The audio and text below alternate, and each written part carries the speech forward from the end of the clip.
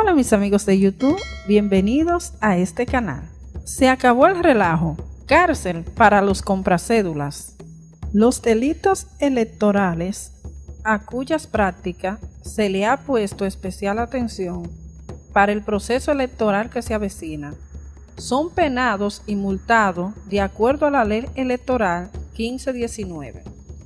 Pero las preguntas que muchas personas se hacen son, ¿cómo están tipificadas las infracciones y de qué manera se le aplicarán las sanciones?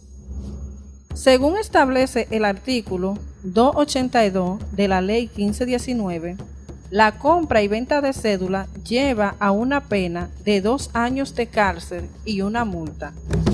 El impedir que los ciudadanos ejerzan su voto y coartarlo de ello, la ley en los artículos 285 y 286 establece un año de cárcel y una multa.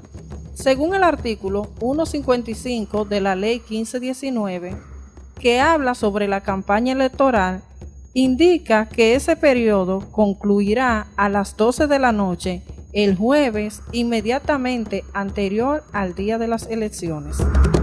Por lo que el hacer campaña el día de las elecciones es tipificado como un delito electoral que se paga con dos años de cárcel y una multa, según el artículo 282 al 285 de la referida legislación.